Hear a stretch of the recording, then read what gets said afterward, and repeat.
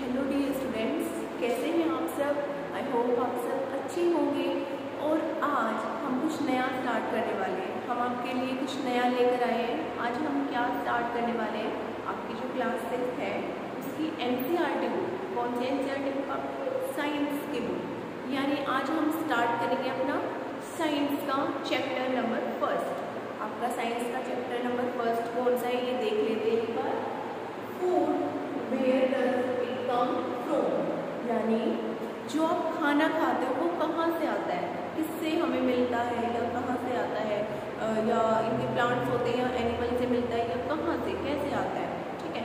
तो इसके बारे में, इस चैप्टर के बारे में आज हम बिल्कुल अच्छे से डिस्कस करेंगे। बिल्कुल अच्छे से इसकी एक्सप्लेनेशन होगी इस लेक्चर में, ठीक है? तो सेशन को एक बार इसे लाइक कर दीजिए और अपने फ्रेंड्स के साथ ज़रूर से ज़रूर शेयर कीजिए ताकि वो भी इस चैप्टर को अच्छे से समझ सके ठीक है? और आज से साइंस के चैप्टर स्टार्ट कर रहे हैं तो आगे कंटिन्यू मतलब इसके जो आगे वाले चैप्टर हैं सेकेंड थर्ड फोर्थ जितने भी आपके क्लास सिक्स के चैप्टर हैं वो सीरीज़ वाइज हम आ, आ, मतलब डिस्कस करते चलेंगे साथ साथ में ठीक है? रोज आपका एक नया चैप्टर डिस्कस होगा तो लेक्चर्स को मिस मत करिएगा। आज के लेक्चर को स्टार्ट करते हैं। बिल्कुल ध्यान से देखिएगा कि फ़र्स्ट चैप्टर में आपका क्या कुछ दे रखा है। ठीक है? स्टार्ट करते हैं।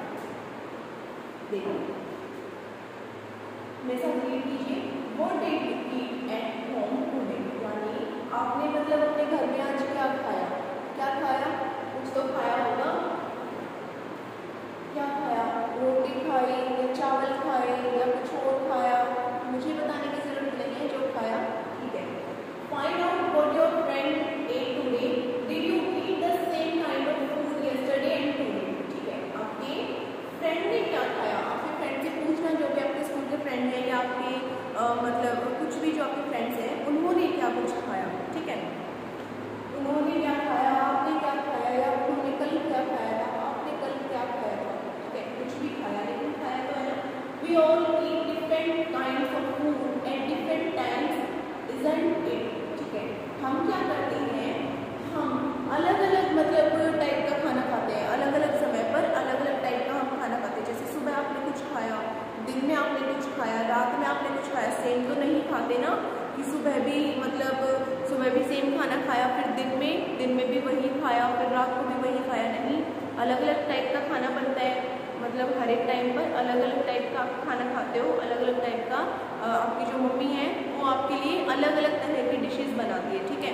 तो क्या करते हो हम क्या करते हैं एक अलग अलग टाइप का खाना खाते हैं ऐसा ही है है ना फिर क्या है फ़ूड वेराइटी दे रखी है वन पॉइंट वन में और इसमें कुछ एक्टिविटीज़ भी होगी आपको कुछ एक्टिविटीज़ मतलब करके देखनी कि क्या कुछ इनमें होता है ठीक है तो इस तरीके से कुछ एक्टिविटीज़ भी होगी आपकी तो आगे बढ़ते हैं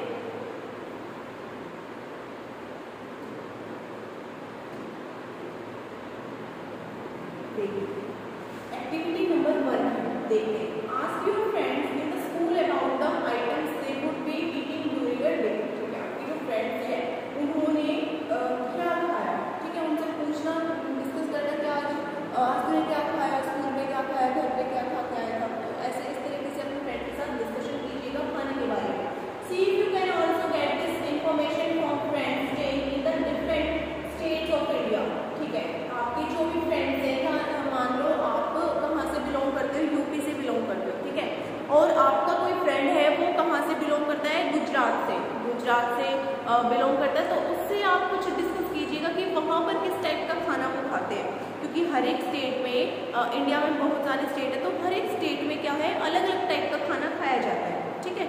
ये तो आ, मतलब समझ में आ गया होगा कि अलग अलग स्टेट में अलग अलग टाइप का खाना होता है ठीक है? हर हर मतलब हर जगह का अपना कुछ खाना जो है वो फ़ेमस होता है हर जगह का ठीक है? जैसे गुजरात में है तो गुजराती डिशेज होंगी वहाँ पे पंजाब में है तो सरसों का साग आपने सुना होगा इस तरीके से कुछ ठीक है? आगे देखते हैं जैसे साउथ में इडली डोसा वगैरह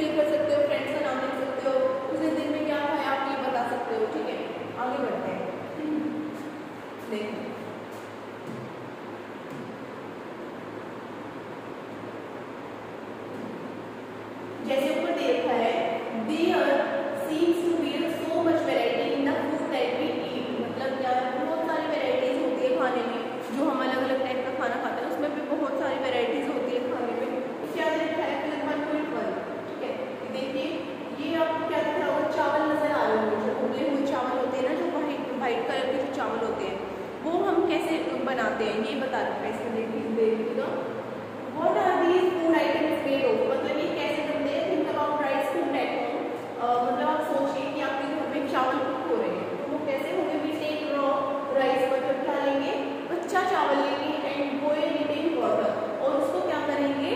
बॉयल करेंगे वाटर में। मतलब कुछ क्वांटिटी में आपको पानी लेना है और कुछ क्वांटिटी में आपको चावल लेना है और उसको क्या करोगे आप? मतलब किसी बर्तन में लेकर उसको कोई बर्तन लिया आपने, उसमें थोड़ा सा चावल डाला, थोड़ा सा पानी डाला और उसको क्या करोगे? कुक करोगे, ठीक है? उसको उबालोगे तो वो क्या हो जाएगा? Just to material ingredients are needed to prepare dish of boiled rice तो इस तरीके से क्या हो जाएगा आपका? जब आप पानी में चावल को डाल के यानी थोड़ा सा पानी आप लेते हो, फिर थोड़ा सा चावल लेते हो और उनको एक साथ आप कुक करते हो तो क्या क्या बनेगा आपका? ये चावल बन के तैयार होगा, ठीक है? बॉइल्ड मतलब बॉयल राइस इसे तो कहेंगे तो यहाँ पर एक वर्ड का यूज़ हुआ है, जैसे मतलब जैसे आपने खाने में कौन कौन सा मेटीरियल यूज़ किया तो उस मेटीरियल को हम क्या कह सकते हैं? इंग्रेडिएंट्स यानी कितने इंग्रेडिएंट्स आपके डिश में यूज़ हुए हैं। ठीक है? कितने इंग्रेडिएंट्स आपके बुक में यूज़ हुए हैं? मेटीरियल मतलब इसको इस नाम से भी जानते हैं, ठीक है? On the other hand some food items are made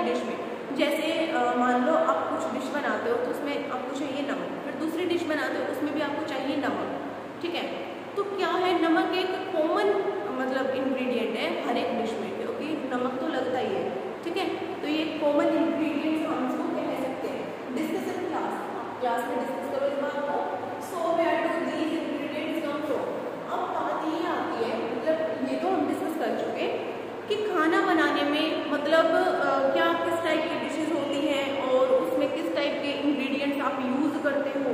लेकिन वो इंग्रेडिएंट्स आते कहाँ से हैं? ये तो भी ये भी तो पता होना चाहिए ना कि जो हम यूज़ कर रहे हैं खाना बनाने में वो सारी चीज़ें आती कहाँ से हैं? ठीक है अभी ये पता करेंगे one point two food material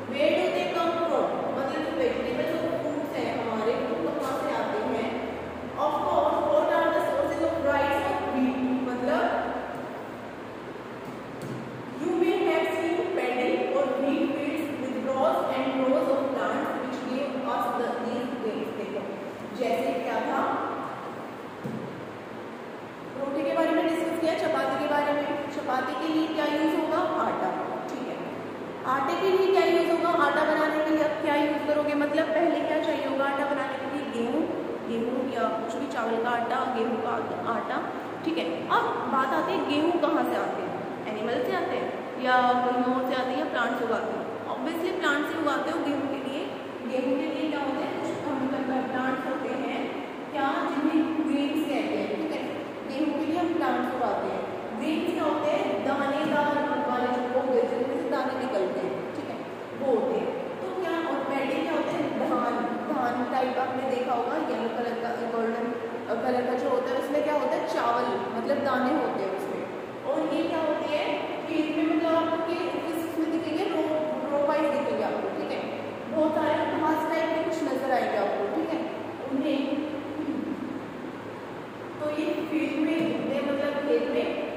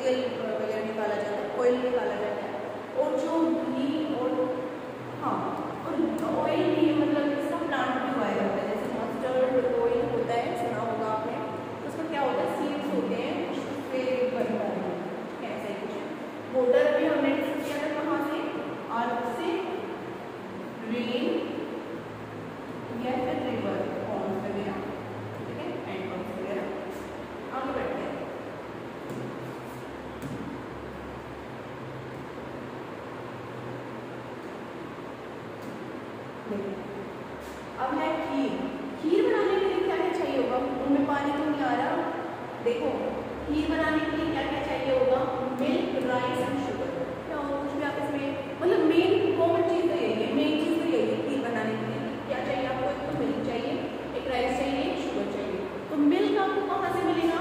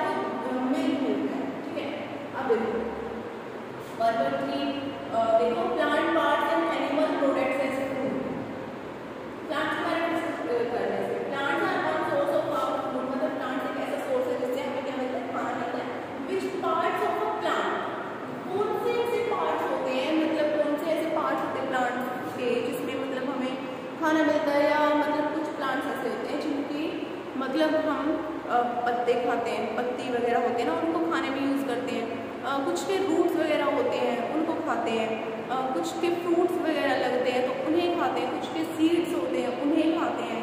fruit वगैरह जैसे जैसे गाजर गाजर तो आप सुनी होगी तो ये क्या है धरती के नीचे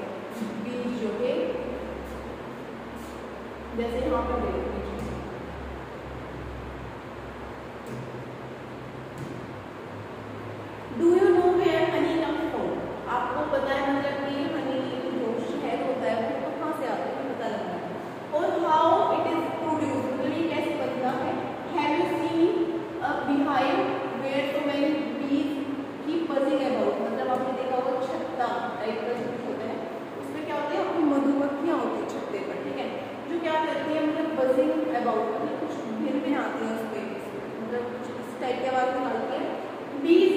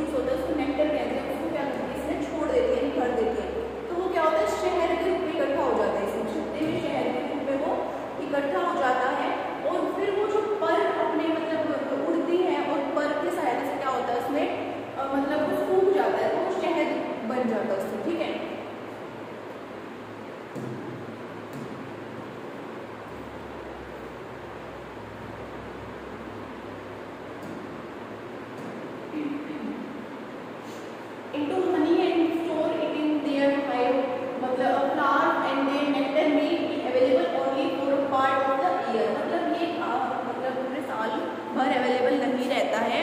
कुछ फ्लावर्स ऐसे होते हैं जिन पर मधुमक्खियाँ बैठकर वो जो स्वीट जूस अपने अंदर एब्जॉर्व करते हैं। लेकिन वो जो फ्लावर्स होते हैं, वो तो साल भर नहीं रहते हैं। मतलब साल भर क्या होते हैं, वो नहीं खिलते हैं। तो जब जब आएँगे तो तब ही तो शहद बने